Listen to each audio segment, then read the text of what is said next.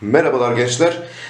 Dik üçgenin 3. testiyle birlikteyiz arkadaşlarım. Bu videomuzda vakit kaybetmiyorum. Hemen alıyorum. 3 numaralı testin birinci sorusuyla başlıyoruz arkadaşlarım. Tabii ki öncelikle ne yapıyoruz? Daha rahat görün diye biraz şöyle odaklanmamızı güzelce ayarladık.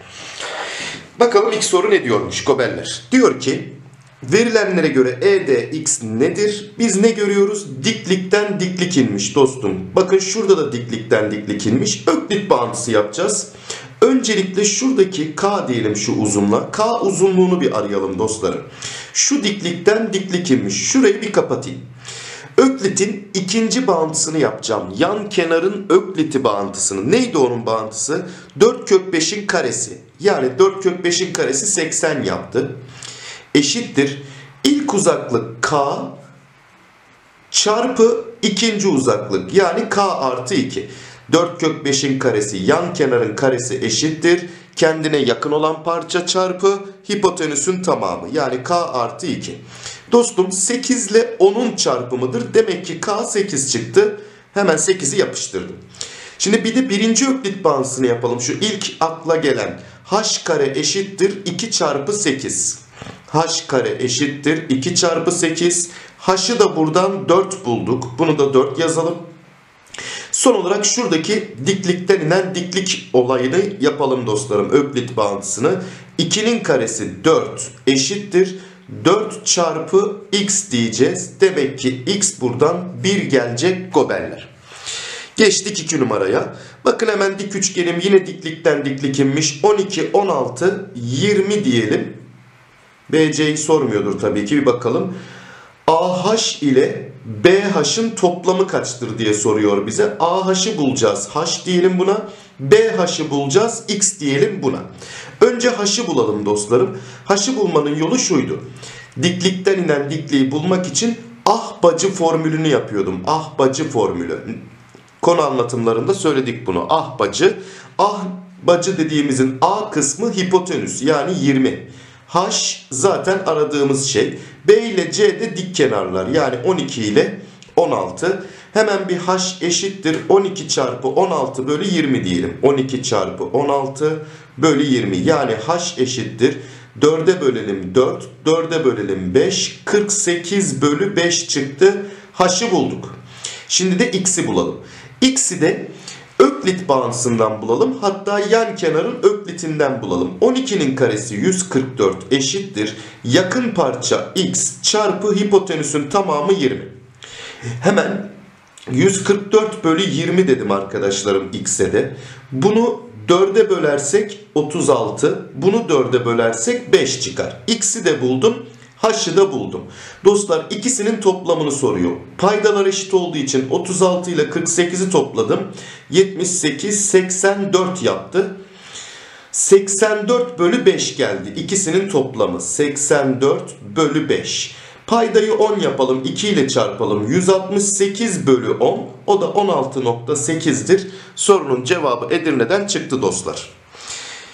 Geldik 3 numaraya. Bakalım ne diyor bu sorumuz. Şurada bakın yine bir diklikten diklik inmiş. Şuna h dersek biz h kare eşittir 4 çarpı x öklitini yapabilirim. h kare eşittir 4 çarpı x öklitini yazdım. Şurada dik açıdan bakın şurada bir hipotenüstür arkadaşlarım. Şu dik üçgenin hipotenüsü. Dik açıdan hipotenüse bir doğru inmiş ve hipotenüsü ikiye bölmüş. Ne diyorduk burada? Kesinlikle muhteşem üçlü var. O halde bu da h, bu da h oldu. Bir de soruyu okuyalım. DF'yi 12 vermiş. Demek ki h dediğimiz şeyler 6'ymış aslında. Bunlara 6 diyelim. Bakın h'a 6 bulduk. O zaman h kare yerine 36 yazdım. Eşittir 4x'e. Her iki tarafı 4'e bölersek 9 eşittir x çıktı dostlar. Geçiyorum hemen dördüncü sorumuza. ABC bir üçgen bir de şurada dikdörtgenmiş dostlar. O halde 2 ise burası da 2. 4 ise burası da 4. Şurası da 90 diyelim. AC'yi soruyor. Bakın önce şurada bir diklikten diklik inmiş. Onu bir yapalım. Dikdörtgense buralar hep 90'ar derecedir.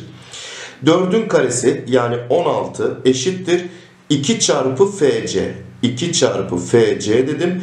2 ile neyin çarpımı 16? 8'in. Demek ki FC 8. Şurada 4 var 8 var. Biri diğerinin 2 katıysa küçüğünün kök 5 katıdır hipotenüsü. Buraya da 4 kök 5'i yazdım.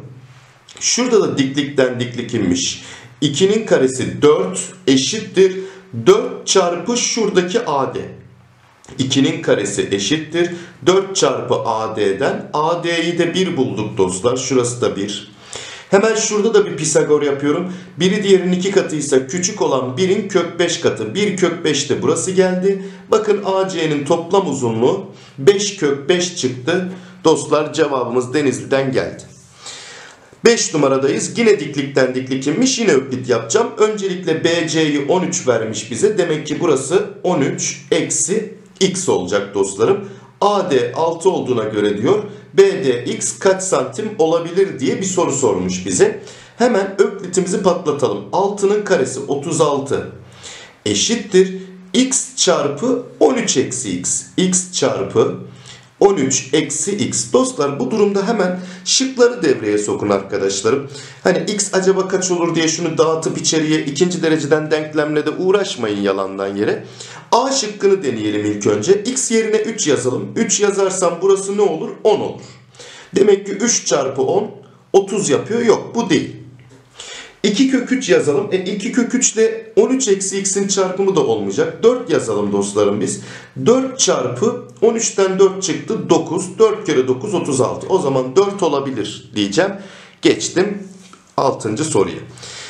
Evet yine diklikten diklik inmiş dostum. Hemen şuradaki h'ı bulalım bakın. Şurada diklikten diklik indi. h kare eşittir 2 çarpı 8. Yok 2 çarpı 4 pardon.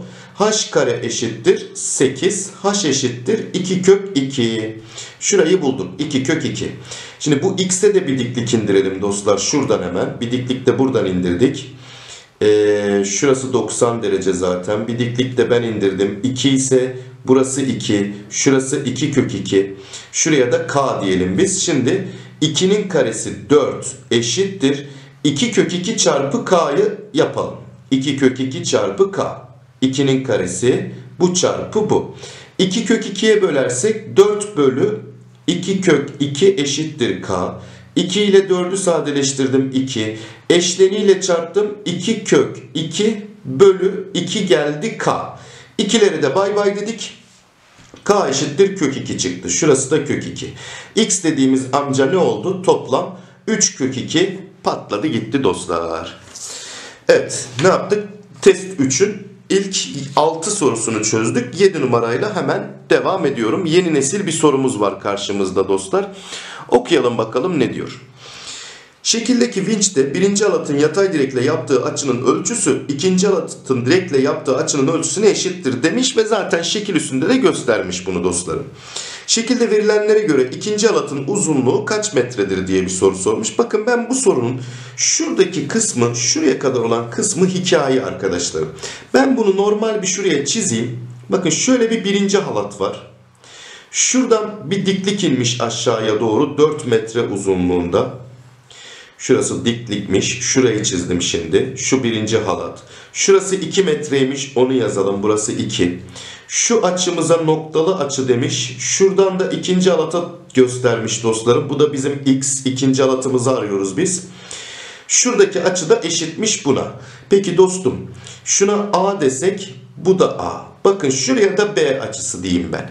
A ile B'nin toplamı kaç derece yaptı şu küçük dik üçgenden? 90 derece. Peki A ile B'nin toplamı 90 sa o halde buraya da 90 derece kaldı diyebilirim ben artık.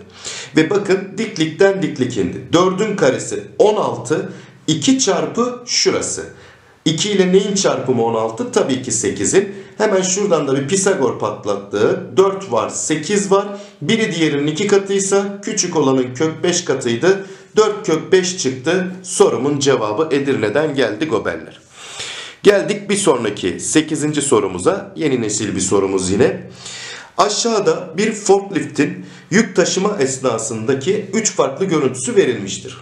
Forklift ikinci görüntüdeki gibi yükü 20 birim yukarı kaldırdığında şuradan 20 birim yukarıya kaldırdığında diyor.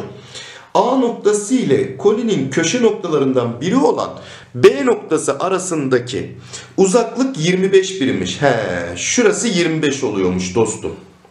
O zaman bakın burası 20, burası 25 ise şurada bir özel bir dik üçgenimiz çıktı değil mi? 15, 20, 25 dik üçgeni çıktı. Demek ki koninin şu kısmı 15 santim. E burada da yüksekliği çıkarttıysa yukarı çıkarsa da değişmeyeceğine göre burası da 15 santim. Üçüncü görüntüdeki gibi yükünü 85 birim daha yukarı kaldırıyormuş. He bak buraya dikkat. 85 birim yukarı çıkartmıyor. 20 idi. Şurada 20 idi. 85 daha çıkartıyor yukarıya. Yani toplam ne oluyor burası arkadaşlarım? 105 oldu. Bu durumda da diyor ki A ile B arasındaki x uzaklığı nedir diye bir soru sormuş. Şimdi hemen Pisagor yapacağım tabii ki arkadaşlar. 15 var, 105 var. Ama dostum sen tabii ki burada şimdi tutup da 15'in karesini ya da 105'in karesini alıp x kareye eşitlemeyeceksin. Sen hemen bunları bir sadeleştir bak. İkisi de 15'e bölünen bir sayı. Bu 15'i de 15'e bölsen 1, 105'i de 15'e bölsen 7. Sen şimdi 1 ile 7'ymiş gibi düşüneceksin ama aklından da çıkartmayacaksın. Ben 15'e böldüğümde 1 ile 7 oldular. Yani 1 ile 7'ymiş gibi işlemini yap, sonucu bul ama en son bir daha 15 ile çarpmayı unutmayacaksın. Peki 1 ile 7 olduğunda x kare eşittir 1'in karesi artı 7'nin karesi 49 bir daha 50 x eşittir 5 kök 2 geliyor. 5 kök 2 tabii ki şıklarda da olmaz doğal olarak. Çünkü biz ne dedik? 15'e bölündüğünde 5 kök 2. Sen bir de 15 ile çarp bunu. 15 ile 5 kök 2'nin çarpımı 75 kök 2 yapacak. Sorumun cevabı Edirne'den gelecek. Geldik 9 numarayı okumaya. Domino taşları var. Bir domino taşı gösterisinde özdeş taşlar düz bir zemin üzerinde eşit aralıklarla dizilmiştir. Her devrilen taş bir sonraki taşa şekilde gösterildiği gibi üstten 9 alttan 8 birim ee, uzakta olacak biçimde çarpmaktadır diyor dostlarım. Yani şunu söylüyor arkadaşlar. Şu bir domino taşı. Diğer domino taşı da gelip buna çarpıyor. Şöyle üstten 9 birim alttan da 8 birim uzaklıkta çarpıyor. Peki bu domino taşının uzunluğu toplam neymiş o halde? 17 birimmiş. E bu da aynı domino taşı olduğuna göre bu da 17 birim uzunluğunda. Evet videomuz yine durmuş arkadaşlarım. Nerede durduğunu bilmiyorum ben. O yüzden bu soruyu bir daha anlatayım ben sizin için. Ne dedik şimdi dostlar? Şurada gösterdik. Klasik sisteme geçirdik. 9 yukarıdan 8 aşağıdan olacak şekilde çarpıyormuş bu diğer domino taşı. Bu domino taşı çarptı tam şurada 8 birim alttan 9 birim yukarıdan. Uzunluğunu toplam 17'dir dedik. Bu domino taşları özdeş olduğu için bunun da boyu 17 birim olacak dedik. Ve şuradaki dik üçgenden özel bir dik üçgen 8, 15, 17 çıktı. Demek ki iki domino taşının arasındaki mesafe 15 birimmiş deyip geçtik soruya arkadaşlarım. Geldik 10 numaraya. Şimdi Diyor ki 10 numara AB 8 birim tamam. BC 9 birim tamam. CD 12 gördük. BC diktir CD. He, şuraya 90'ımızı çakalım hemen. Şu uzunluk şu uzunluğa dikmiş 12 birime. Şurası Denizli noktasıymış dostlar. Şurayı karalayalım. He. Şekildeki beton pompasında B ve D noktalarının yerden yüksekliği eşittir. Bak şimdi B'nin yerden yüksekliği 8 artı kırmızı çizgi. D'nin yerden yüksekliği de o zaman 8 artı kırmızı çizgi olacak. Yani tam şu A ile aynı hizadadır. Şuradaki kısım diyelim. Şuraya 8'i yapıştıralım hemen. Peki 9, 12 hatta şurası da 90 derece oldu değil mi? Şuradakiyle paralel olduğu için. 9, 12 şu mesafeyi 15 bulduk.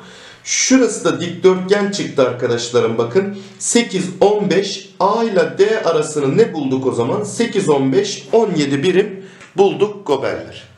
Evet 3 numaralı testimizi de gömdük dostlarım. Bir sonraki videomuzda görüşmek üzere diyorum. Kendinize iyi bakın. Esen kalın.